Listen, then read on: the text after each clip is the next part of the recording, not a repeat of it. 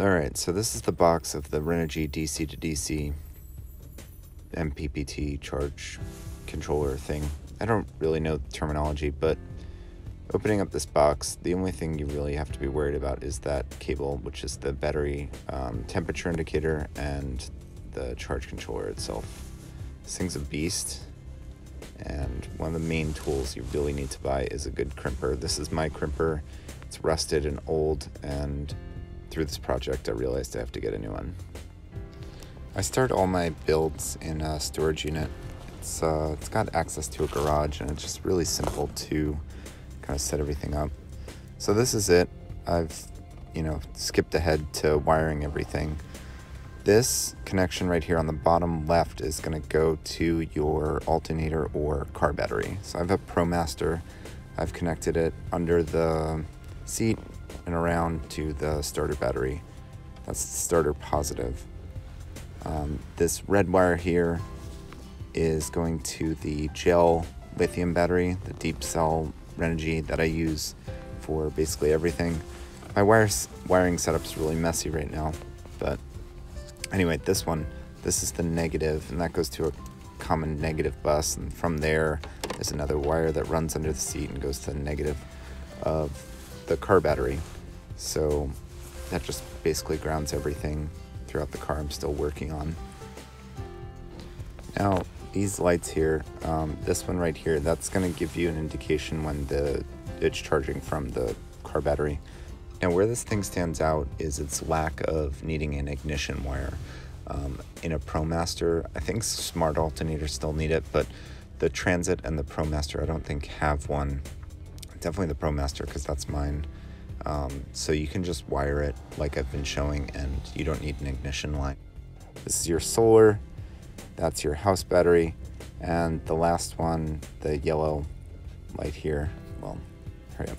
Yellow light is the uh, your battery type. So I have yellow because it's a gel battery. If you need to change your battery type, you're gonna want to grab. I have like 12 wire, 14 wire, whatever it is, and I just clicked it in there until I got the yellow setting. Blue is lithium, red something else. There's a bunch of them. I don't remember, but uh, it's really easy. It's in the manual. Yellow is gel, blue is lithium. That's all I really remember. Um, so you set it to the proper settings, and that's going to be your deep cell battery that your setting is. So this thing I'm pointing to right now, that's where your solar goes, but I have a like a 10 amp charge controller I still need to get rid of. The solar is going there and I don't really care about it right now. So to show you that it works, you basically you start the car and it doesn't turn on right away depending on how discharged your car battery is. It needs to get up to a certain amperage before it'll push out any power. Now, just to show that it works. Basically, my battery's spiking right now because the charge controller thinks the battery's got a shitload of power in it right now. And if you turn the car off, it you know goes back to a normal level. But this is what it'll look like as you uh, as you drive. You should have the red. If you had solar on, um, you'd be getting that. But the green and then whatever your battery type light is. And what that does is it push power through the alternator, through your car battery, through into your house battery.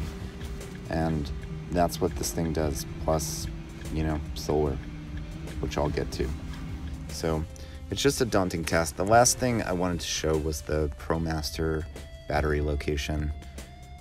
These, you know, large Sprinter vans, they don't have a battery in a normal place. I think the Transit's under the passenger seat, maybe driver seat. Um, just look into where your battery location is. Um, I ran a six wire. Uh, if you're running anything longer than three feet, you're going to want to get a